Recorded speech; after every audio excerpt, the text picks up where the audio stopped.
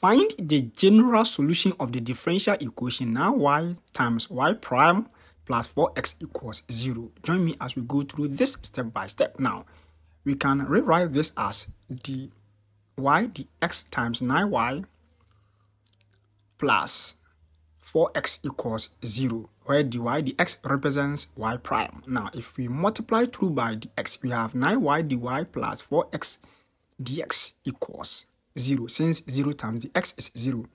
Now if we integrate each term, the integral of a constant is still a constant. So let's say it's constant c. Now, if we integrate 9y, we get y squared divided by 2 times 9. And if we integrate 4x, we get 4 times x squared divided by 2 equals c.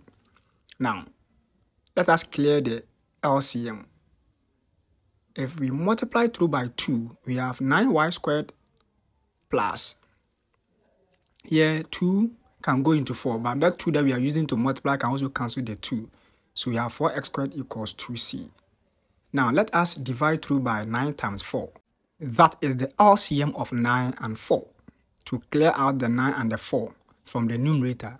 So here we have y squared divided by 4 plus x squared divided by 9 equals 2 going to 36, that's 18.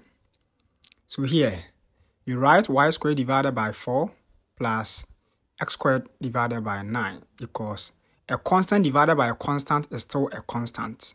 So replace capital C to represent small c divided by 18.